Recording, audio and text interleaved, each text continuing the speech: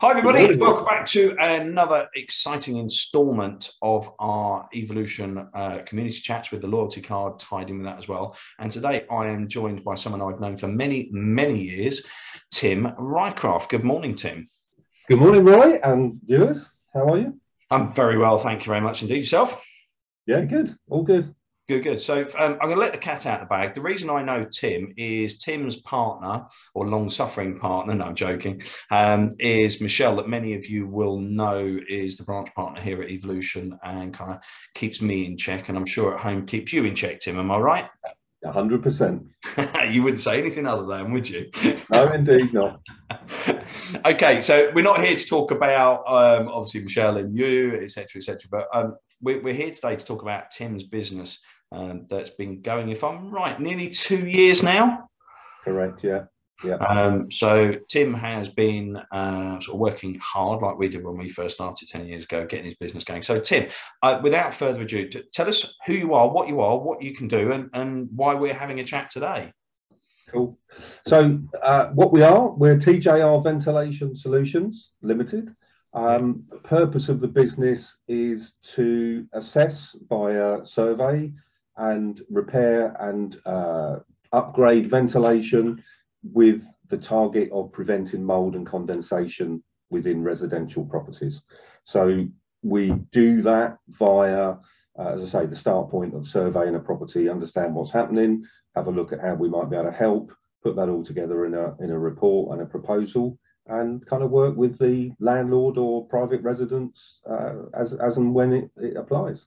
I think that's interesting you say there, the landlord and private resident. So I think recently in the press, um, I say recently, uh, certainly over the last sort of 12, 18 months, there's been quite a bit of, um, I suppose, negative um, sort of uh, media news about mold and mildew in a lot of the social housing that's going on. Uh, are you involved in sort of correcting that, helping that out? We have some big contracts on social housing, so we're uh, yeah constantly being being uh, involved in the resolution for mold condensation within the social housing sector. So yeah, we do a lot of that. So generally, Tim, I mean, what what are the kind of I mean, pick out black mold in a house. Um, a lot of people kind of say, "Oh, it's just the tenant's not ventilating the the, the bathroom properly," or um, they switch the extractor fan off. Uh, as I've done, I mean, if you remember, was it just over a year ago now? I did that video in a property that we'd taken aback, and, and it was literally the extractor had just been turned off, hadn't it? Um, yeah. And that the ceiling had gone black. Um, what generally is the? I mean, what are you finding? What sort of things should people be doing to stop that? What are you finding is the biggest cause of these things? Uh, well, look, the beginning part is about having an adequate supply of ventilation. So the first the first check is is there ventilation there? So part of what we do, which is a little bit different to uh, other people in this field, we actually measure the amount of air that's passing through any existing ventilation. So we put what's called an anemometer over uh, wherever possible over the extractors. Um, whatever the system is, we'll try and check it because there are a lot of uh, bits of equipment that just simply don't perform. So they're not doing what they should be. So, so you've kind of got that on the one side, and it's very important that the tenant slash owner of the property does ventilate um, because they are complementary. Okay, so again, where you're talking about extractors not working, I mean, you give me some advice when, whenever we do a property check uh, before sort of or during inspections and so forth. Stuart, I know quite regularly will just take a piece of tissue paper and make sure the vent is working, and quite often it it is working, um, but it's very easy to find out. So, um, from a survey point of view, is that something that's worth relying on, or do you think we need to go a bit further sometimes? I think as a first port of call, um, the visual is is as good is as good a method as any because you're looking around you anyway. So yeah. is the fan switched on? Is there mold? Is there condensation? Are the trickle vents open? Yeah. Um, does the window do the? I reckon eight out of ten people I meet are not aware that some some windows have uh, sort of a double trickle vent on them. Yeah. So you've got the locking latch, but you can also open them fractionally yeah. uh, and lock them with a second latch. And, and that can be, I've, I've seen uh, a couple of people almost in tears who live on ground floor uh, to, in London, this is, too scared to open their windows. Uh, and when you show them that, they're over the moon. Yeah, just simple things. Now have a little bit of air. Okay, so a couple of good points there then. So um, make sure your extractor is actually extracting, I suppose. And yep. as I say, the, the, easy way we very quickly check it is a bit of uh, toilet paper or kitchen towel just to see if it holds that. So that should it's not necessarily saying it's it's removing the right amount of moisture, but we know at least it's it's doing something, don't we? Yeah. Yeah. Make sure the trickle vents, if they've got them, so right above the top of the window frame bit, you've got yeah. like the vents, you can have those open. And I think, as you've just said there, um, you can very easily and very securely have the actual window opening open just a jar, as we would call it, a um, couple of millimeters, and that's just enough to let air flow. Do you think if you've got the extractor working and they've done that, they've got the trickle vents and they've opened the window? The other thing I was told as well is when you're using a bathroom or a shower room, don't leave the door open. 100%. So air will move through the path of least resistance.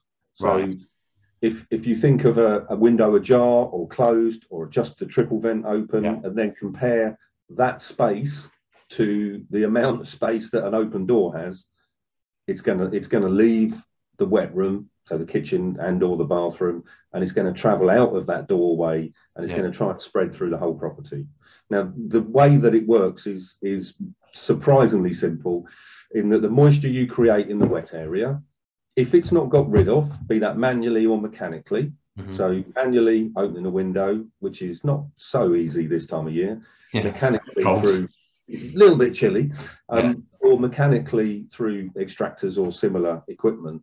If that's not done for whatever reason, it's going to leave the wet room. It's going to try and equalize through the property, yeah. and then it will gravitate to the coldest parts, which is not one of the rooms normally bedroom. Well, this is not exclusive. No, of course. Um, but normally bedrooms. Yeah. Uh, I use myself as an example. Most people, or or me, I sleep in a cooler bedroom. Yeah.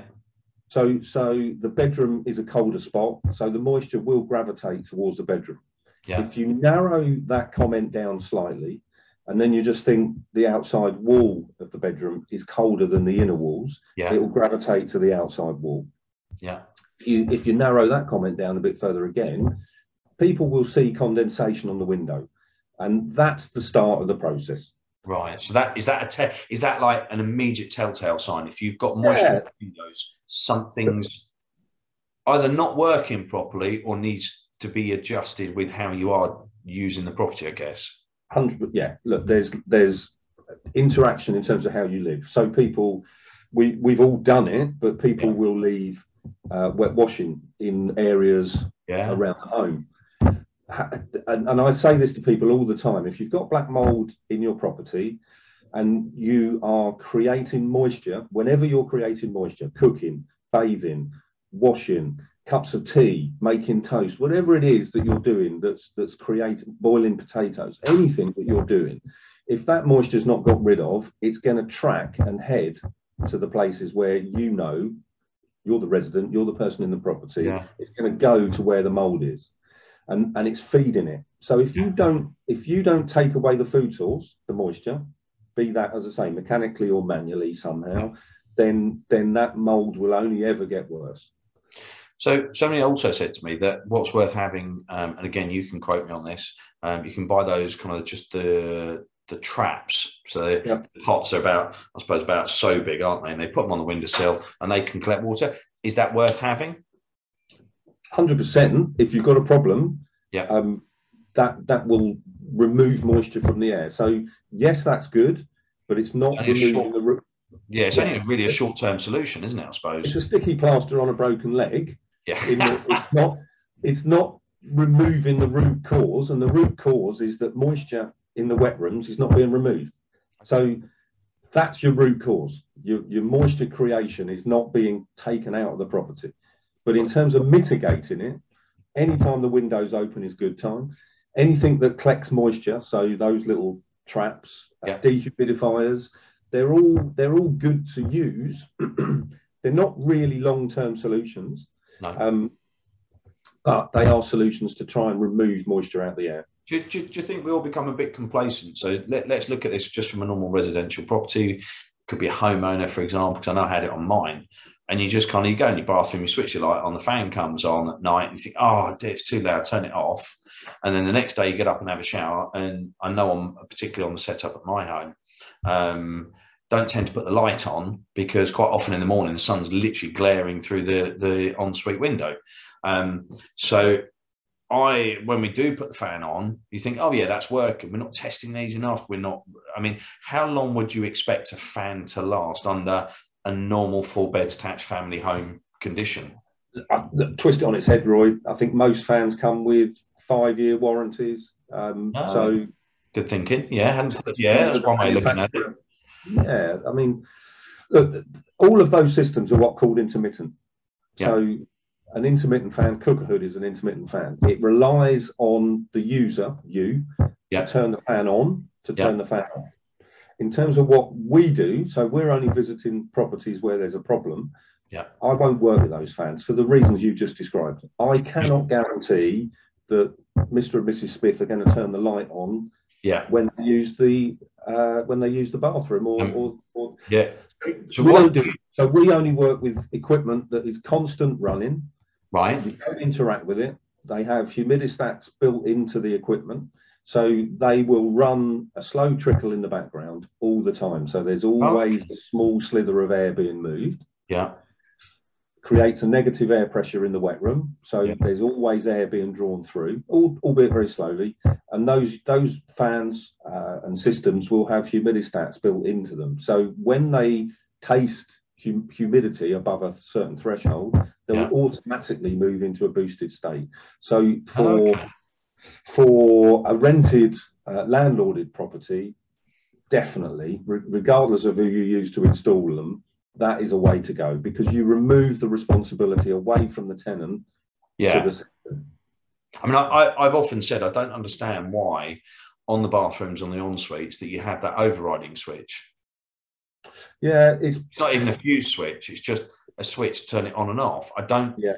I, me personally, I don't get it. I don't understand why it's there. And as you quite rightly said, there people can then control it and shut it off. Um, and the fans, and the fans that you're talking about, remove. Well, do their job properly. That, that that's it in a nutshell, yeah. isn't it? it? It will work when it needs to. And in, interestingly, then that would explain then why on a few of the modern properties that I'm seeing now, they've got the little white sort of like a little I suppose like a thin smoke alarm it looks like on the ceiling and yeah. you kind of you're hearing it running along and you switch the, the light on and all of a sudden bang it's coming on even more is that one of yours or uh, yeah so that'll be one of two things that'll be an mvhr so right. that's like a whole house so those they're called a ceiling valve that, that yeah. you're talking about um, they will be the idea of that system is that the property is highly sealed right so they're well insulated. The windows are, are very well sealed, and, and very simply, they supply air into the dry rooms. They, yeah. So they'll filter the air coming in, and they will push air into the dry room. And then in the wet room, they should be balanced in such a way that they are extracting the same amount of air. So you've got a continuous flow of air through the property. Yeah. The way the air will move, it's called the Coanda effect, and it will grab the contaminants as it's moving. So the, the wet rooms will be removing the moisture, they'll be re- removing things like the volatile VOCs, they'll be removing cooking smells, they'll be removing all those contaminants that you don't want in the home yeah. continuously. And again, those systems can be boosted via a light switch. So, so what you've described.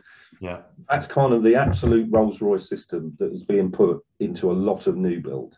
Yeah. There's a kind of a halfway product that that's also very good. It's called an MEV, um, which is a uh, similar system, but it's a bit more simple. It just extracts in the wet rooms. Yeah. And the idea is that you have a ceiling valve. There'll be it will be set up speed wise according to the size of the house. Yeah. And it will be drawing air through trickle vents and passive ventilation through the dry rooms, through the, the hallway, into the wet room and out on a constant okay. basis. So the point of that system is that air is entering the property, entering the wet room, and leaving the property. When you go back to the intermittent system that, that we were talking about, those fans might only get used for an hour a day. So right. the property's kind of still. Yeah. So there's no real air movement. Okay. So, so the moisture can track around and Yeah. move through the property much, much easier. And that's why people get problems. Ah, so anybody that is watching this or listening to this, I think you need to take a fa- first job for I would say to anybody, go and grab a bit of toilet roll and check your vents are working for a start. Anything that is, I suppose, really, Tim, would we say anything five years and plus, particularly ten years and plus, you probably find it's not really doing the job it's meant to be doing anymore. It's very possible. And the only way of fully knowing is is to test, is to put an, a, a calibrated anemometer over them. But the Yeah. tissue is, is a good start point. You'll Yeah, get that, I mean that, that's that's quite yeah quite quite rough and ready to see that it's actually doing something. So if somebody says, "Oh, do you know what? I, I don't really know," and I, I, I always get moisture on my windows, and I'm always wiping them down. So to contact you, I can put your contact details obviously on the post anyway, Tim. But you can go in then. You can do a full survey on the property. So, be it a rental, be it a homeowner, someone may have just bought a property and suddenly going, I've got all this moisture. What's going on? I didn't have it in my last house. You can go in, you can do a full survey on that. So we, we do a, a ventilation survey, um, not a full survey, but a ventilation. Sorry, yeah. a ventilation survey. yeah. Um, and, and we're basically going to compare what's going on in the property to what it should be on Yeah. uh, current standards. Now, that's not necessarily to say that um, a property would fail because if it's an older property, current standards may not apply. Yeah. Um, but it's a great start point because what a better place to start than, than the current uh, regulations, which are all detailed in there Fab. Yeah. that is um, kind of our Bible in, in Yeah. a sense of reference. That's what you Uh, work yeah. towards. Yeah. So yeah, but everybody's welcome to give me a call for advice. That's no problem. Uh, look us up on the website, which is tjrvent.co.uk. Awesome. Yeah, love to hear from people. So somebody somebody says to you, rings you up, say, Tim, just bought a house, been in there three months through the winter. All I'm getting is moisture on the windows. I watched your video. Uh, can you come and have a look? What what's what would be traditionally? What would you charge to go and sort of do, as you say, like a ventilation survey for someone? So, so we charge £100 plus VAT for, Yeah. for, for that service. Um, that will include obviously the report, that will include the advice, that will include the recommendations, and obviously a quote for, for any works that we propose. Um, yeah, that's kind of how we do it. So any any normal person ringing up, hundred pound plus VAT to come and do a survey. Yeah. With a loyalty card. With a with a Evolution loyalty card, I, we're, we're not 50% off that. So, Wow. uh, So you're going to be on £50. 50 quid plus that's, that's going to cost somebody 60 pounds to make sure that everything's working right and find out what the best way because then we'd all probably be, be guilty. If, if we think the fan's not working it's just replacing it with yet another one. Oh look you've got a friend popped in. I have. um, benefit of working from home. I do miss mine. But um, so you'll quite happily pop out. Give them the right advice. Tell them what they've got to do. Don't just think oh i need to replace it. I'll pop in and i know there's lots of diy stores out there. Go and grab one for 60 quid and my friend can swap it over because that may not cure the issue that they've got maybe No, and and it's a frustration of mine is that it's a self-fulfilling prophecy. People will not believe. One of the biggest things people don't believe is that the moisture will track, for example, from a downstairs kitchen to upstairs into a bedroom. right Um, so, so they struggle with understanding and believing that that moisture will move like that. yeah But it does. And and if you put in a cheap fan, you can go to Screwfix and go and buy a not not having a go to Screwfix here, but you can go and buy a 20 quid, 30 quid fan, and guess what? You'll be still in the same boat. Still in the same. So don't waste that 20, 30 quid, 50 quid, whatever you're going to pay for it. Reinvest that. Grab one of our loyalty cards, speak to Tim, get Tim booked in. He'll come out, have a look at the property for you, give you a full professional assessment of what, what it's doing, what needs to be done, and effectively what it's going to cost you so that you are not wasting money. And again, from a rental perspective, we do see it occasionally, Tim, unfortunately, that once that kind of the, the mold and mildew sets in, it's not just a case of, oh, I'll get a bucket of emulsion and paint over it. It has to be properly treated, etc., doesn't it? It, yeah, it's very much worth uh, spending the money to treat it. And a lot of people will use bleach. Yeah. Please don't use bleach. Please. Yeah, I- Interesting. Michelle mentioned that a little while ago in the office. I said, oh, I'm sure somebody told me use bleach. So not use bleach. No, if you if just do a bit of uh, googling on on the internet with with the treatment people. Bleach basically mows mows it. That's how I describe it. Okay. It will take the surface away, so visually you look at it and go, oh, "That's great, it's gone." But it's not going to kill the root, Ah. and you may just be spreading the mold. Is that the same then with these kind of? In, sorry to interrupt. there, In, in No. Tesco's and Sainsbury's and whatnot, you get these sprays that like blitz the mold or whatever. Uh, Is that a similar kind of bleach product, and it won't do the same, or Potentially, I don't. I, I don't quite understand how or why they're allowed to sell some of these things, but, Right. but some of them have got bleach product in it, and and the the, the trade manufacturers for for mold treatments, they they yeah nobody bleach is a no no. so? Anybody that's got the issues, don't go and try and treat it. Speak to Tim. Tim will guide you, give you the right advice. Um, if you have got concerns, as we've discussed there, you're seeing black spots, you're seeing condensation on the windows, talk to Tim. Tim will come and do a, uh, and it's not a full survey because you corrected me, but a ventilation survey. Um, and you'll do that half price for anybody with a loyalty card. Indeed, yeah. Awesome. That's really good. Thank you, Tim. I appreciate that because I think a lot of people do suffer with this. And I think there's a lot of people that probably don't know where to go and what to do. And they're thinking, oh, I don't really want a building surveyor to come in because it's going to cost me, I don't know, three, four, five hundred pounds. And so for the case of 60 quid, get it done, get it done properly. And then I suppose really from there on in, you could fit a new system. Do you do you maintain them? Do you do anything yearly, five yearly? What? What? what? Uh, yeah, we we we can do so depending on the system. So extractor fans, I think it's just a, more of a visual inspection, check that they're not covered in dirt and grime.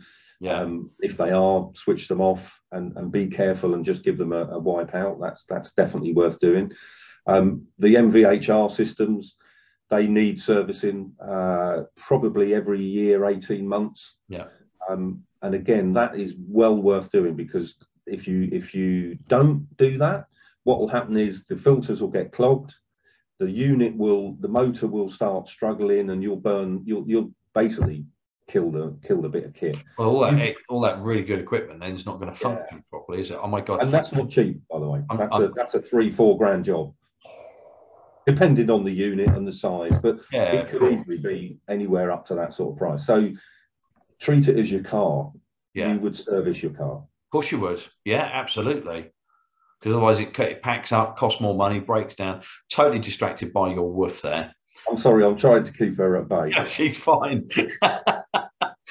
so thank you so much indeed, Tim. I really appreciate your time on this one. I'll catch up again with you in a few months, see how you're getting on, any reactions from people that we promoted you to as well. Uh, and again, for anybody watching out there, viewing out there, this isn't just for tenants, this is for your own home as well. It's well worth spending a few quid now. Get it right, get it done. It'll save you the cost of a decorator and treatment coming back in because you haven't had the fans working, or yeah, just I mean, it, it's kind of a it's a positive spend, isn't it? It's not wasting money in any way, shape, or form. I, I, not, I'm biased, of course, but not.